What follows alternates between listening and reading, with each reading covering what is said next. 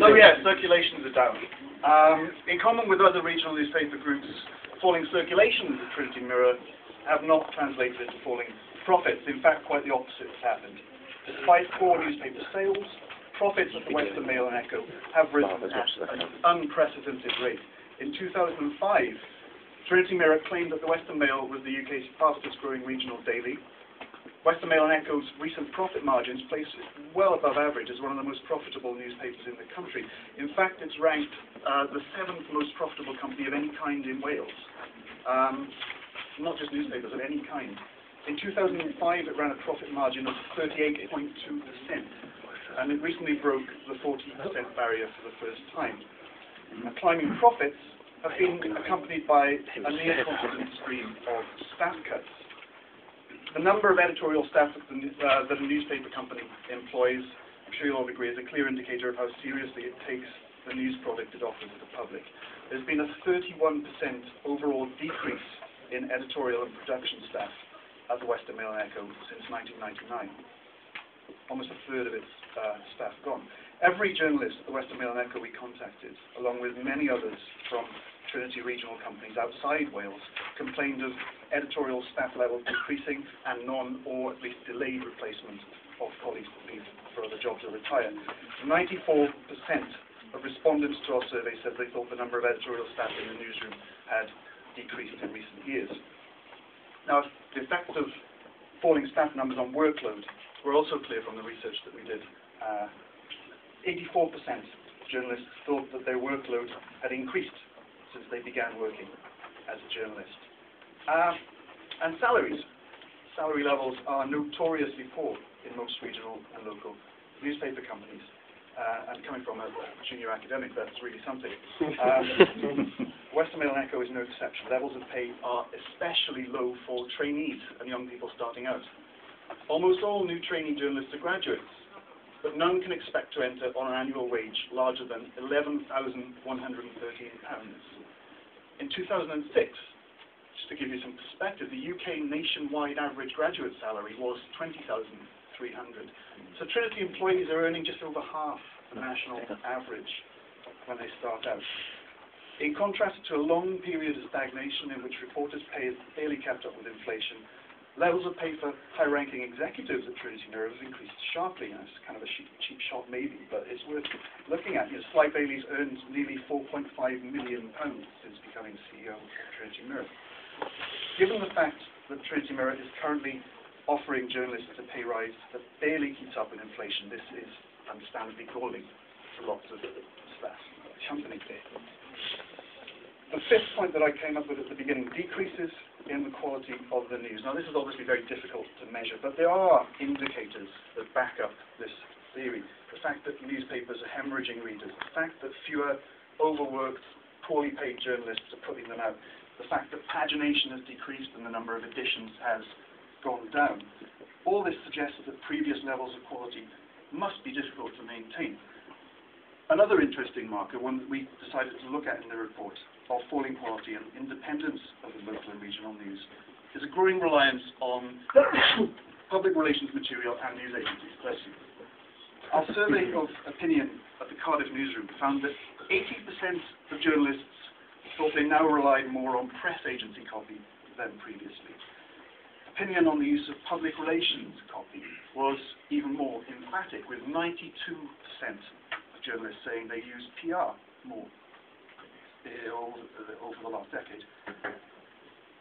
Now this is kind of setting the scene.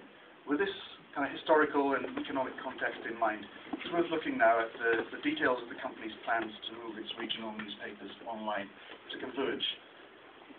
Central to the company's recent strategic review is, and I quote from a Trinity Mirror document, the adoption of new technology-led operating models across the group to accelerate growth and reduce costs. I think it's interesting that they see the web as a cost-saving opportunity. Almost every expert that we interviewed for the report stressed the need for big initial investment in online in terms of staffing and technology for it to work, for any online strategy to work. And if you look at the successful models, The Guardian, the BBC, they've all had kind of you know, big investment early on. The Guardian took some hits, didn't it, in, in, in the last five years in order to, to bolster its online capability in the future. Um, that's a kind of aside. Trinity Mirror has already began experimenting with a number of different multi-platform options. It's experimented with micro-local websites uh, to, to, to, go up against the BBC's planned micro-local uh, sites. It's experimented with blogging. It's experimented with comment posts. But it's clear from our research that the most important changes in working conditions uh, in these regional newsrooms will come from the introduction of video journalism and the move to a web-first editorial strategy where some oral stories get published online before being published in the printed newspapers. Um, we went to speak with Michael Hill, who's uh, Trinity Mirror's regional head of multimedia, um, to ask him what his take on the whole thing was. He struck a fairly conciliatory chord with us, uh, talking about small steps, talking about encouraging journalists to learn how to tell stories in different ways and in different media. But at a recent conference on citizen journalism at the University of Central England, he was much more bullish about the future of printed news, and much more bullish in his derision of editorial staff who entertain reservations about Trinity's online policies. We have to accept that breaking news online has to come first, said Hill, a step that he suggested some journalists were finding hard to accept. He said that one skeptic Uh, a journalist in one of the Trinity Mirror regional newsrooms, had asked him, why kill the goose that laid the golden egg? Talking about newspapers, local and regional newspapers, very profitable businesses historically. And his answer to this was that the goose has got bird flu.